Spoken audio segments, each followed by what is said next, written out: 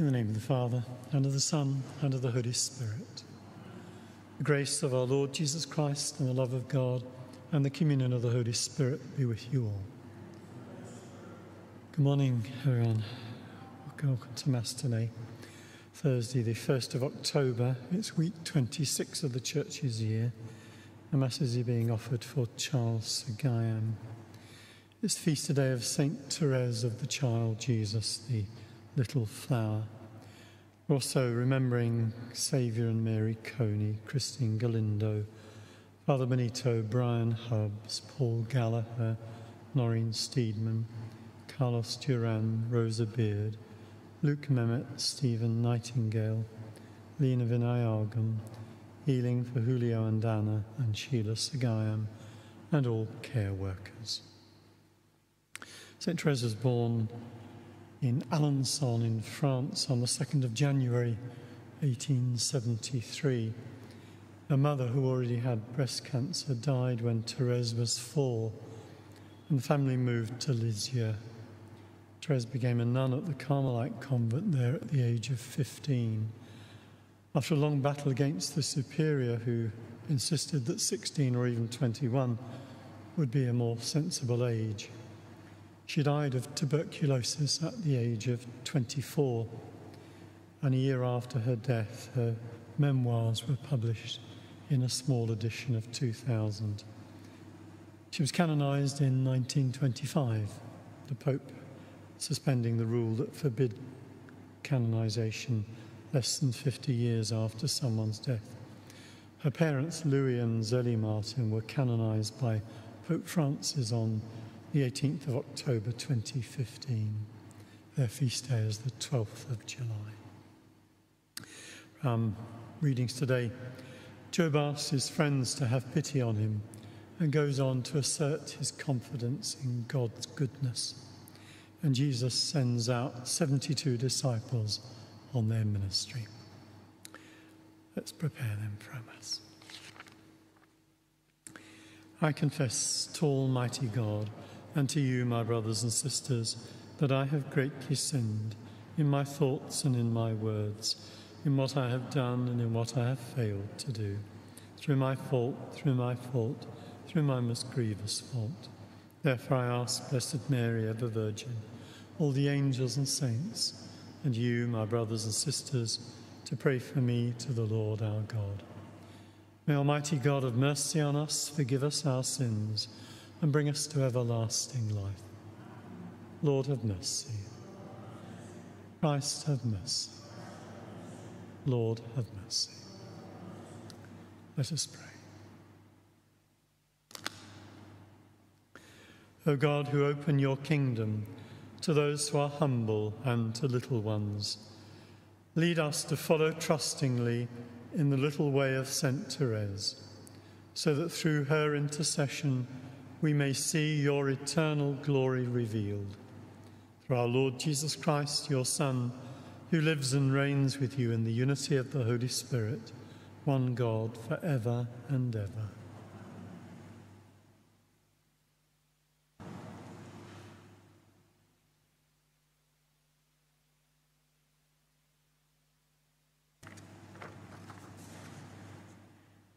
A reading from the book of Job.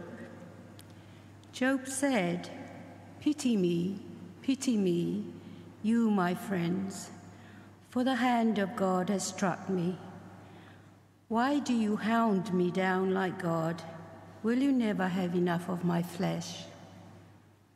Ah, would that these words of mine were written down, inscribed on some monument, with iron chisel and engraving tool, cut into the rock forever. This I know, that my avenger lives, and he, the last, will take his stand on earth.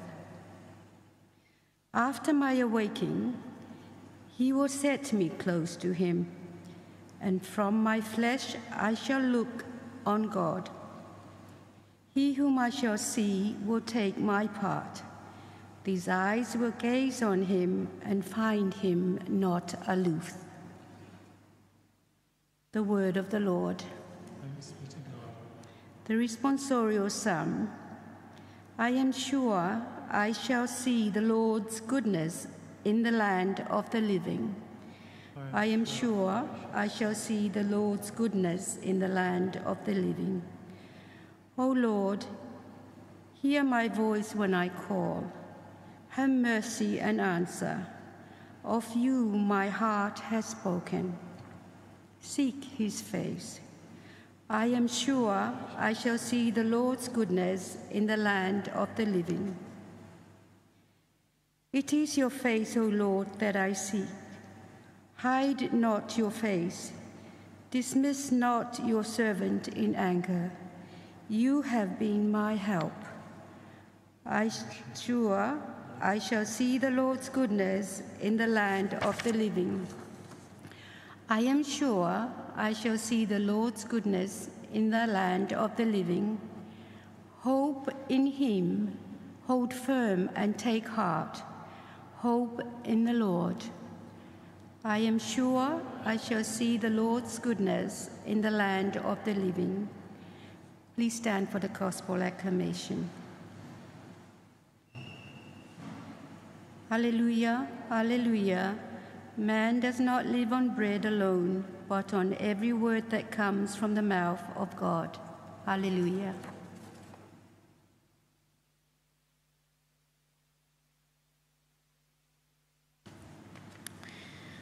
The Lord be with you. A reading from the Holy Gospel according to Luke.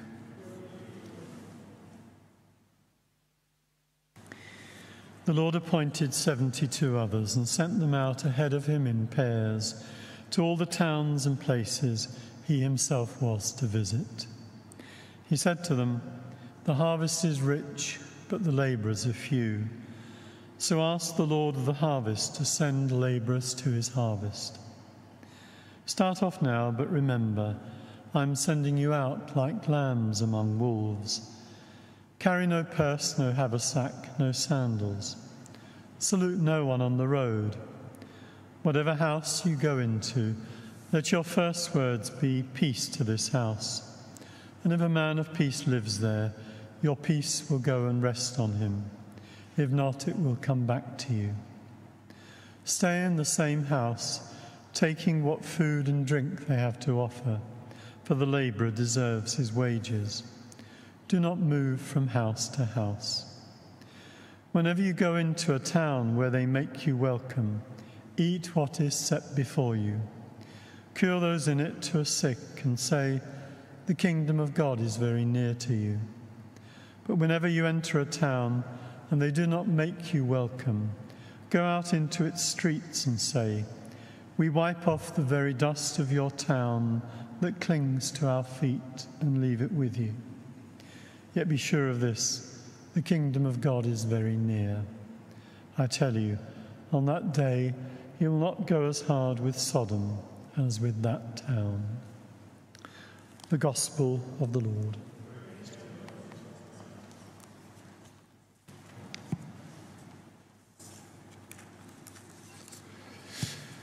Job got angered by the insults and torments of his supposed friends. But at the same time, he's so desperate that he begs their pity. He has a, a, feeling too about God being his oppressor who's built a wall across his path. And yet, once again, in his torment, God appeals to God as his avenger.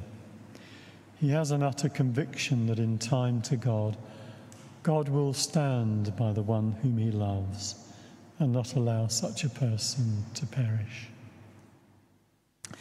The disciples are sent out like lambs among wolves, without food, without distractions, without baggage, without spares.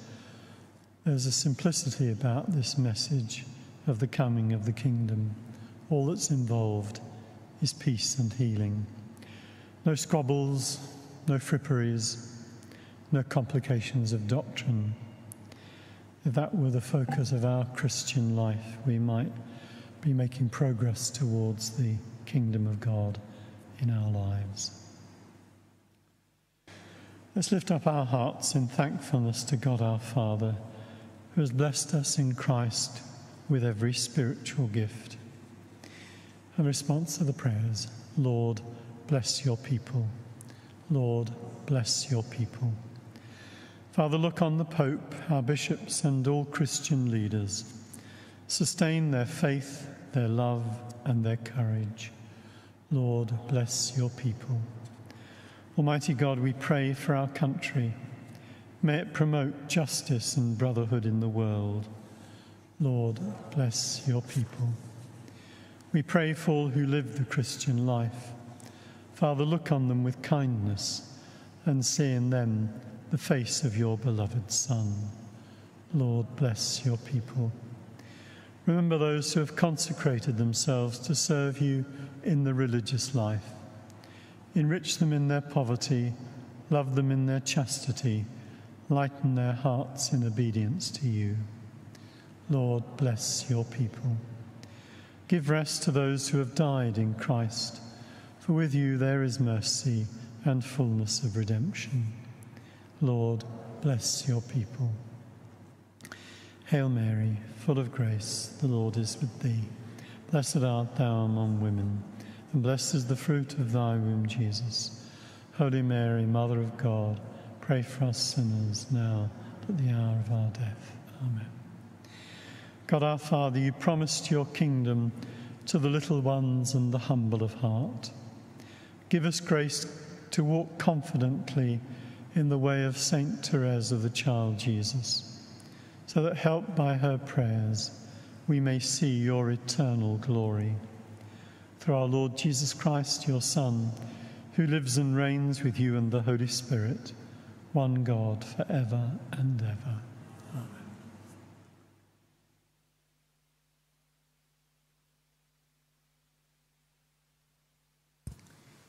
Blessed are you, Lord, God of all creation, for through your goodness we have received the bread we offer you, fruit of the earth and work of human hands. It will become for us the bread of life.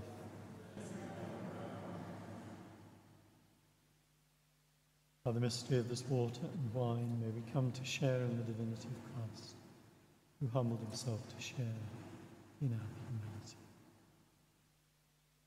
Blessed are you, Lord, God of all creation, for through your goodness we have received the wine we offer you, fruit of the vine and work of human hands. It will become our spiritual drink. Lord God, we ask you to receive us and be pleased with the sacrifice we offer you with humble and contrite hearts. Lord, wash away my iniquity and cleanse me from my sin. Let's pray now, brothers and sisters, that my sacrifice and yours may be acceptable to God the Almighty Father.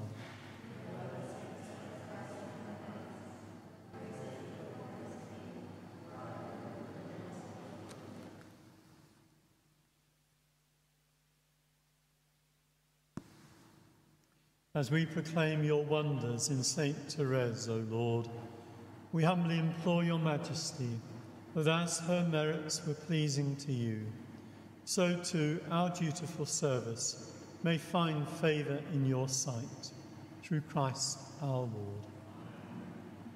The Lord be with you. Lift up your hearts. Let us give thanks to the Lord our God. It is truly right and just, our duty and our salvation, always and everywhere to give you thanks, Lord, Holy Father, Almighty and eternal God, through Christ our Lord. For in the marvellous confession of your saints, you make your church fruitful with strength ever new, and offer us sure signs of your love, and that your saving mysteries may be fulfilled their great example lends us courage. Their fervent prayers sustain us in all we do. And so, Lord, with all the angels and saints, we too give you thanks as in exaltation we acclaim. Holy, holy, holy Lord, God of hosts, heaven and earth are full of your glory. Hosanna in the highest. Blessed is he who comes in the name of the Lord. Hosanna in the highest. You are indeed holy, O Lord, and all you have created rightly gives you praise. For through your Son, our Lord Jesus Christ, by the power and working of the Holy Spirit, you give life to all things and make them holy. And you never cease to gather a people to yourself, so that from the rising of the sun to its setting, a pure sacrifice may be offered to your name. Therefore, Lord, we humbly implore you, by the same Spirit, graciously make holy these gifts we have brought to you for consecration, that they may become the body and blood of your Son, our Lord Jesus Christ, at whose command we celebrate these mysteries. From the night he was betrayed, he himself took bread, and giving you thanks, he said the blessing broke the bread, and gave it to his disciples, saying, Take this, all of you, and eat of it, for this is my body, which will be given up for you.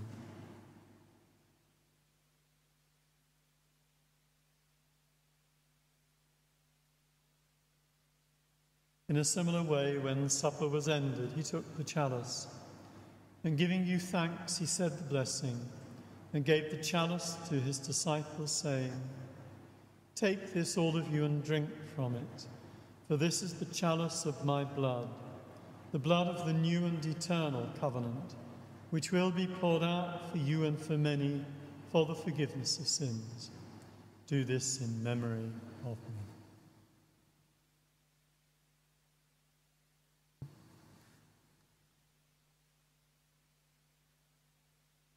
The mystery of faith. Save us, Saviour of the world, for by your cross and resurrection you have set us free. Therefore, O Lord, as we celebrate the memorial of the saving passion of your Son, his wondrous resurrection and ascension into heaven, and as we look forward to his second coming, we offer you in thanksgiving this holy and living sacrifice. Look, we pray upon the oblation of your church, and recognizing the sacrificial victim by whose death you will to reconcile us to yourself, grant that we who are nourished by the body and blood of your Son, and filled with his Holy Spirit, may become one body, one spirit in Christ.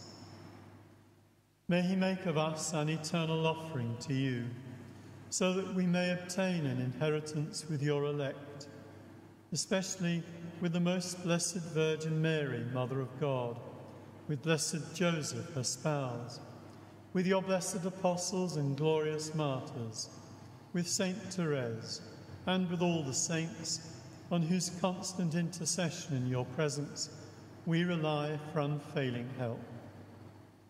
May this sacrifice of our reconciliation, we pray, O Lord, advance the peace and salvation of all the world. Be pleased to confirm in faith and charity your pilgrim church on earth, with your servant Francis, our Pope, and Vincent, our Bishop, the order of bishops, all the clergy, and the entire people you have gained for your own. Listen graciously to the prayers of this family whom you have summoned before you. In your compassion, O merciful Father, gather to yourself all your children scattered throughout the world. To our departed brothers and sisters, and to all who are pleasing to you at their passing from this life, give kind admittance to your kingdom.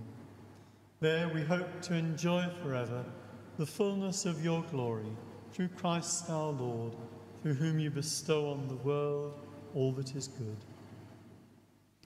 through him and with him and in him.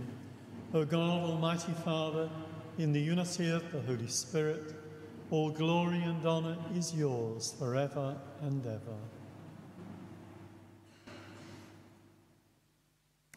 Obedient to our Lord's command, let's pray as he taught us. Our Father, who art in heaven, hallowed be thy name. Thy kingdom come, thy will be done on earth as it is in heaven. Give us this day our daily bread, and forgive us our trespasses, as we forgive those who trespass against us. And lead us not into temptation, but deliver us from evil. Deliver us, Lord, we pray, from every evil. Graciously grant peace in our days, that by the help of your mercy we may be always free from sin and safe from all distress as we await the blessed hope and the coming of our Saviour, Jesus Christ.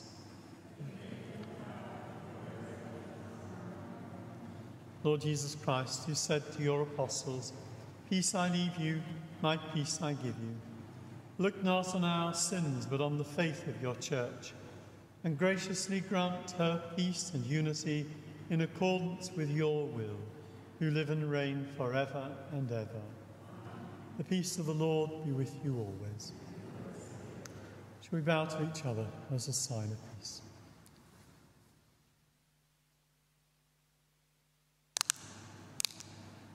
Lamb of God, you take away the sins of the world. Have mercy.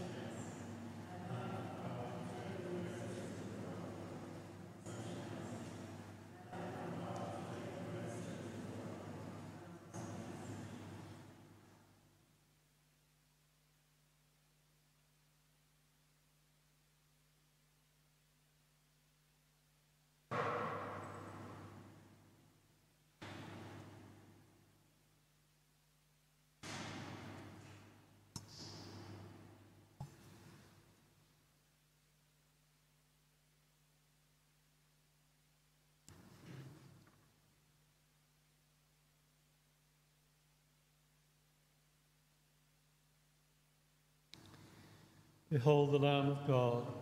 Behold him who takes away the sins of the world. Blessed are those called to the supper of the Lamb. Lord, I am not worthy that you should enter under my roof, but only say the word, and my soul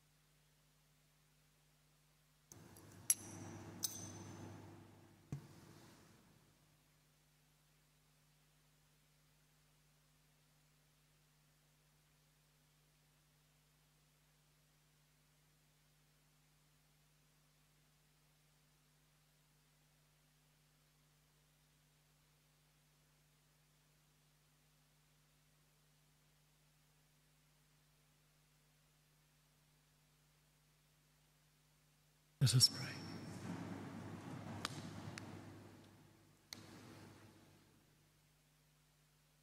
May the sacrament we have received, O Lord, kindle in us the force of that love with which Saint Therese dedicated herself to you and longed to obtain your mercy for all.